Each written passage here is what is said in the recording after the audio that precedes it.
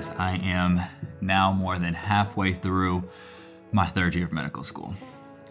Which means now I have more medical school behind me than in front of me, which is just absolutely crazy. Like, I'm gonna be somebody's doctor soon.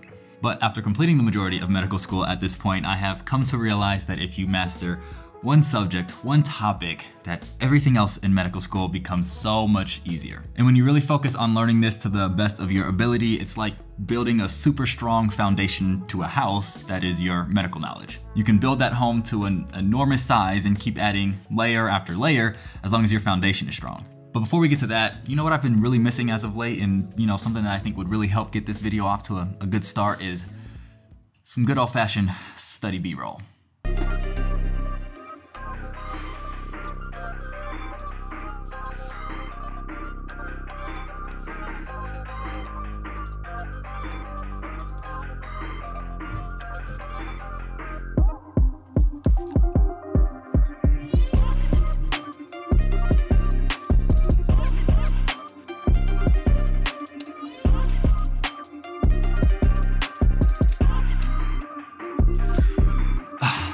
Sorry, I just felt like we hadn't had a good study session on this channel in a while. And I was missing it.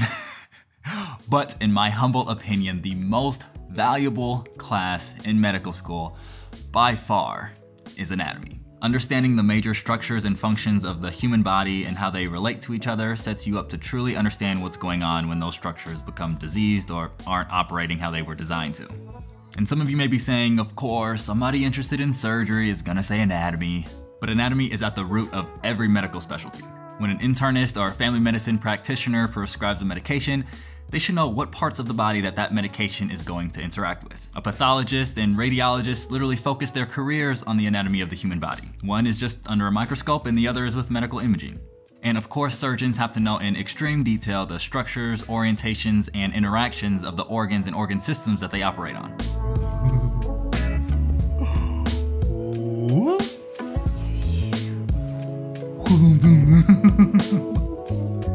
so there are a few things that make anatomy particularly challenging, and number one is that it's just so much material. It's like literally material overload. Anatomy is not just memorizing the names of bones, muscles, and nerves, even though that would probably be my favorite part of it. And even if that was the case, that would still be a whole lot of information. There's a lot of stuff going on in the human body. But beyond just knowing the structures, you have to know how they function and why they operate the way that they do.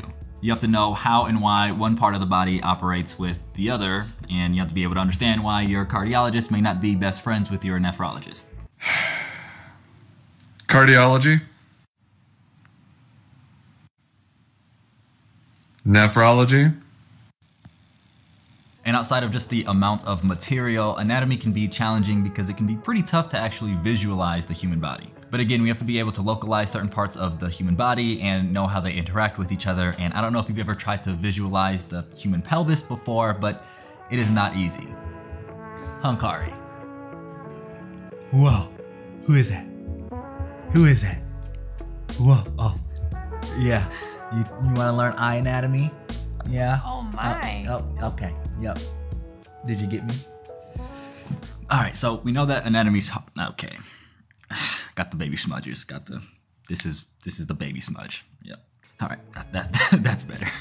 So we know that anatomy is hard, um, but there are definitely some things that we can do to make it easier and for us to really accelerate how well we can learn this material. And the number one thing that we can do is to utilize a resource that basically addresses the challenges that we mentioned and makes the learning process actually enjoyable. And that brings me to the kind sponsors of today's video, Kenhub.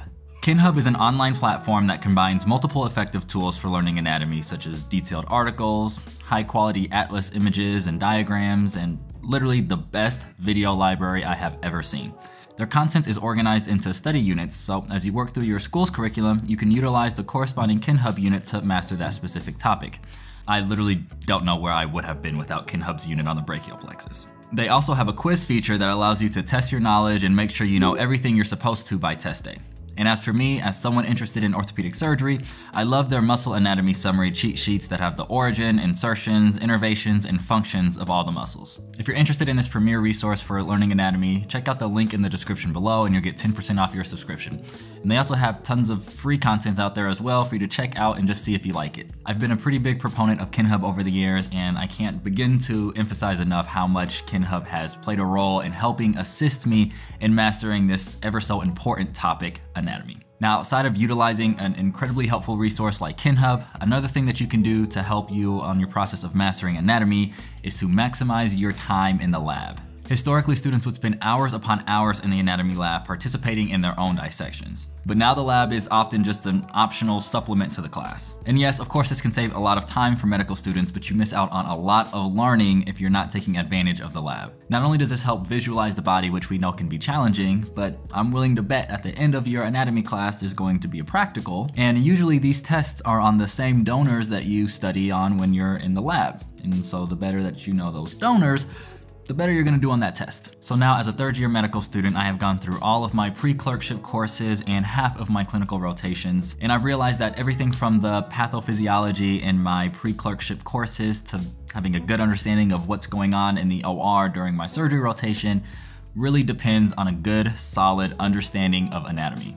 You'll learn details in the specific courses or blocks that you're in, but without an understanding of the general structures that you're studying, being able to zoom in on the details and the specific disease processes becomes almost impossible. So whether you're a pre-medical student or a medical student early in their career, if you wanna choose one topic to go all out on, choose anatomy because it's gonna make the rest of your medical career so much easier. That's all that I have for this video. I hope that you enjoyed it. I hope it can maybe give a little bit of motivation to give it all that you have in anatomy and really set yourself up for the rest of your medical school career. If you did enjoy the video, make sure to like and subscribe if you haven't already. And if you want more details on what my surgery clerkship looked like, a rotation where you definitely didn't know your anatomy, check out this video here.